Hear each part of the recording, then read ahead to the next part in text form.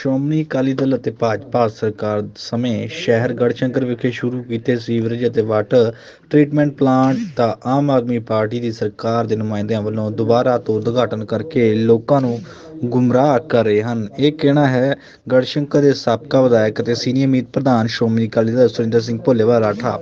ਜੋ ਗੜਸ਼ੰਕਰ ਵਿਖੇ ਮੀਡੀਆ ਨੂੰ ਸੰਬੋਧਨ ਕਰ ਰਹੇ ਸਨ, ਇਸ ਮੌਕੇ ਸੁਰਿੰਦਰ ਸਿੰਘ ਭੋਲੇਵਾਲ, ਰਾਠਾ, ਸ਼੍ਰੋਮਣੀ ਅਕਾਲੀ ਦਲ ਨੇ ਕਿਹਾ ਕਿ ਸ਼ਹਿਰ ਗੜਸ਼ੰਕਰ ਲਈ 7 ਸਾਲ ਪਹਿਲਾਂ ਸ਼੍ਰੋਮਣੀ ਅਕਾਲੀ ਦਲ ਅਤੇ ਭਾਜਪਾ ਸਰਕਾਰ ਵੇਲੇ 67 ਕਰੋੜ ਰੁਪਏ ਦਾ ਪ੍ਰੋਜੈਕਟ ਮਨਜ਼ੂਰ ਕਰਵਾਇਆ ਸੀ ਅਤੇ 19 ਕਰੋੜ ਰੁਪਏ ਦੀ ਕਿਸ਼ਤ ਲਿਆ ਕੇ ਕੰਮ ਸ਼ੁਰੂ ਕਰਵਾਇਆ ਸੀ।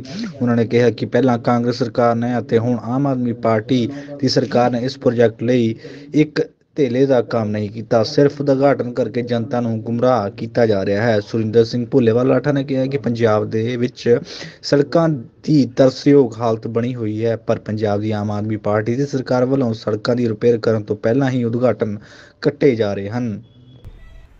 67 ਕਰੋੜ ਦਾ ਪ੍ਰੋਜੈਕਟ ਸੀਵਰੇਜ ਦਾ ਅਸੀਂ ਮਨਜ਼ੂਰ ਕਰਾਇਆ ਸੀ ਤੇ 19 ਕਰੋੜ ਦੀ ਪਹਿਲੀ ਕਿਸ਼ਤ ਲਿਆ ਕੇ ਦੇਤੀ ਸੀ ਕਿ ਕੰਮ ਸ਼ੁਰੂ ਕਰਾਤਾ। ਸਰਕਾਰ ਕਾਂਗਰਸ ਦੀ ਆ ਗਈ। 5 ਸਾਲ ਉਹਨਾਂ ਲੋਕਾਂ ਨੇ ਡੱਕਾ ਨਹੀਂ ਤੋੜਿਆ ਇੱਥੇ। ਹੁਣ ਸਾਲ ਇਹਨਾਂ ਨੂੰ ਹੋ ਗਿਆ ਇਹਦੀ ਇਸ ਪੂਰੇ ਹਲਕੇ 'ਚ ਨਹੀਂ ਡੱਕਾ ਤੋੜਿਆ। ਪੂਰੇ ਪੰਜਾਬ 'ਚ ਨਹੀਂ ਕੋਈ ਕੰਮ ਕੀਤਾ। ਹੁਣ ਟ੍ਰੀਟਮੈਂਟ ਪਲਾਨ ਦੀ ਗੱਲ ਕਰਦੇ ਹੋ ਸਾਡੇ ਵੇਲੇ ਦੇ ਕੋਈ ਪੈਸੇ ਪਏ ਆ, ਉਹੀ ਨਹੀਂ ਖਰਚਣੇ ਆ। ਉਹ ਟ੍ਰੀਟਮੈਂਟ ਪਲਾਨ ਦਾ ਕੰਮ ਤਾਂ ਪਹਿਲੇ ਸ਼ੁਰੂ ਹੋਇਆ ਆ। ਹੁਣ ਇਹ ਤਾਂ ਸਾਰੀਆਂ ਲਾਈਨਾਂ ਪਾ ਕੇ ਸੀਵਰੇਜ ਦੀਆਂ 67 ਕਰੋੜ ਰੁਪਏ ਜਿਹੜਾ ਸੀ ਮਨਜ਼ੂਰ ਕਰਾਇਆ ਸੀ ਉਦੋਂ ਤਾਂ ਅੱਜ ਤੋਂ 6 ਸਾਲ ਪਹਿਲਾਂ 7 ਸਾਲ ਪਹਿਲਾਂ ਮੈਂ ਕਰਾਇਆ। 7 ਸਾਲ ਦੇ ਸਮੇਂ 'ਚ ਰੇਟ ਵੀ ਵੱਧ ਗਏ। ਹੁਣ ਉਹ ਕਮ ਸੇ ਕਮ 100 ਕਰੋੜ ਦੇ ਨਾਲ ਉਹ ਕੰਪਲੀਟ ਹੋਣਾ। ਇਹ ਲਿਆ ਕੇ ਉਹਨੂੰ ਨੇਪਰੇ ਚਾੜਨ ਤਾਂ ਤਾਂ ਸਾਡੇ ਜਿਹੜੇ ਸ਼ੁਰੂ ਕੀਤੇ ਉਹ ਕੰਮ ਆ, ਉਹਨਾਂ ਨੂੰ ਇਹ ਨੇਪਰੇ ਚਾੜਨ ਤੇ ਲੋਕਾਂ ਨੂੰ ਸਹੂਲਤ ਮਿਲੇ, ਤਾਂ ਤਾਂ ਅਸੀਂ ਕਹਾਂਗੇ ਨਹੀਂ ਉਹ ਕੀਤਾ। ਜੇ ਸਾਡੇ ਆ ਕੰਮਾਂ ਨੂੰ ਕਹੀ ਜਾਣ ਕਿ ਅਕਾਲੀ ਭਾਜਪਾ ਸਰਕਾਰ ਵੇਲੇ ਦੇ ਕੰਮ ਜਿਹੜੇ ਸ਼ੁਰੂ ਕੀਤੇ ਆ, ਉਹਨਾਂ ਦੇ ਉਦਘਾਟਨ ਕਰੀ ਜਾਣੇ ਆ। ਤੇ ਇਹ ਤਾਂ ਲੋਕਾਂ ਨੂੰ ਇੱਕ ਮੂਰਖ ਬਗੇ ਮੂਰਖ ਬਣਾਇਆ, ਉਹ ਕਹਿੰਦੇ ਲੋਕ ਪੰਜਾਬ ਦੇ ਮੂਰਖ ਛੇਤੀ ਬਣ ਜਾਂਦੇ ਆ। ਇਹ ਲੋਕਾਂ ਨੂੰ ਇਹ ਫੇਰ ਮੂਰਖ ਬਣਾ ਰਹੇ ਆ। ਇਸ ਕਰਕੇ ਬਹੁਤਾ ਲੰਮਾ ਸਮਾਂ ਇਹ ਕੰਮ ਮੂਰਖ ਮੂਰਖਾ ਜਿਹੜੇ ਬਣਾਉਣ ਵਾਲੇ ਕੰਮ ਸੜਕਾਂ, ਅਸੀਂ 2007 ਦੀ ਸਰਕਾਰ ਵੇਲੇ ਇਹ ਸੜਕ ਸੜਕ ਸਾਰੀ ਵਾਈਂਡਿੰਗ ਕਰਾ ਕੇ 18 ਫੁੱਟਾ ਰੋਡ ਬਣਾ ਕੇ ਦਿੱਤਾ ਸੀ ਸਾਰਾ। ਔਰ ਹੁਣ ਤਾਂ ਉਹ ਰਿਪੇਅਰ ਹੋਣਾ। ਇਹਦਾ ਰਿਪੇਅਰ ਕਰਨ ਦੇ ਵੀ ਇਹ ਉਦਘਾਟਨ ਕਰਦੇ ਆ। ਅਸੀਂ ਆਪਣੇ ਸਮੇਂ ਕੋਈ ਉਦਘਾਟਨ ਨਹੀਂ ਕੀਤਾ।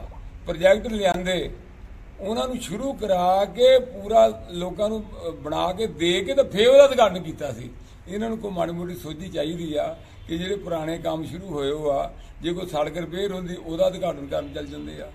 ਤੇ ਹਾਲੇ ਬਣਾਈਆਂ ਤਾਂ ਹੈ ਹੀ ਨਹੀਂ। ਪਹਿਲਾਂ ਸੜਕਾਂ ਨਵੀਆਂ ਬਣਾਓ, ਉਹਦੇ ਉਦਘਾਟਨ ਕਰੋ। ਪੁਰਾਣੀਆਂ ਤਾਂ ਰਿਪੇਅਰ ਹੋਣੀਆਂ ਹੀ ਆ।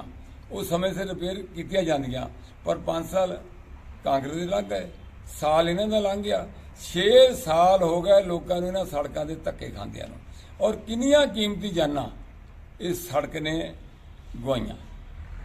ਇਸ ਕਰਕੇ ਸਰਕਾਰ ਨੂੰ ਸੋਚਣਾ ਚਾਹੀਦਾ, ਸਮਝ ਹੋਣੀ ਚਾਹੀਦੀ ਆ। ਆ ਟੋਲ ਖਤਮ ਹੋ ਗਿਆ ਹੁਣ।